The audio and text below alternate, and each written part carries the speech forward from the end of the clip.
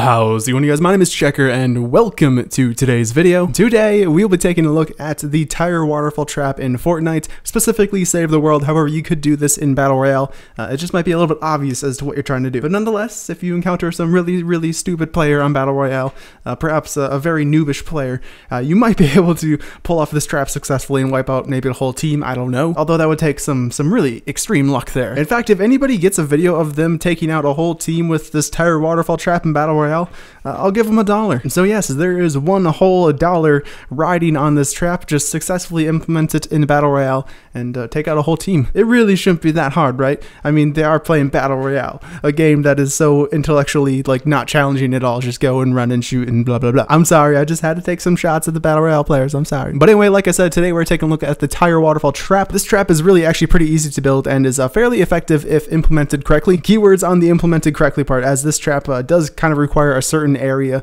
uh, to build this in. I didn't always have the best areas when I was trying to actually record this. Uh, I did have one area that was pretty good, as you can see right here. So you're probably only going to be able to utilize this trap as your main trap, uh, probably only a handful of times per day. I guess it really just depends on how much you're playing and how lucky you get. Before you even start building this trap, though, there is one thing that is incredibly important to this trap, and I suppose other traps like it, and that is funneling. Funneling is going to be the most important thing for this trap. Due to the elevated surface that the husks have to climb up, uh, it, it makes it kind of difficult to get them to funnel correctly. And this is kind of going back to what I said about how you need uh, the correct location to do this properly. You can, however, build the slope surface up uh, just on a normal map. However, you are going to make sure that you have a really solid funneling system in place. Reinforced walls behind reinforced walls behind reinforced walls to make sure that they go up through the trap. The layout of this trap is really quite simple. Have a sloped surface and then have a tire trap at the very top. Keep in mind, place the tire trap at the very top of the slope surface. Do not place it on the flat surface behind it as the tires will not slide down the surface. Going back to the reinforcing point, to make sure you have walls underneath the stairway or at least something there to help funnel them upwards through the trap. In some cases, you might be able to actually put some wall launchers at the very top of the trap. However, this is not always going to be a thing you can do. Placing wall traps can really affect your funneling situation,